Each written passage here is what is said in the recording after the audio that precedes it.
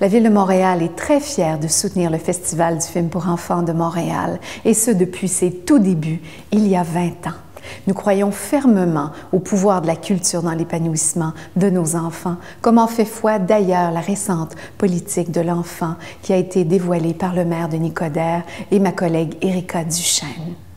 Ce qu'on fait quand on contribue à la culture, c'est véritablement de contribuer à l'épanouissement et au bonheur de nos collectivités. Je vous souhaite un merveilleux 20e festival.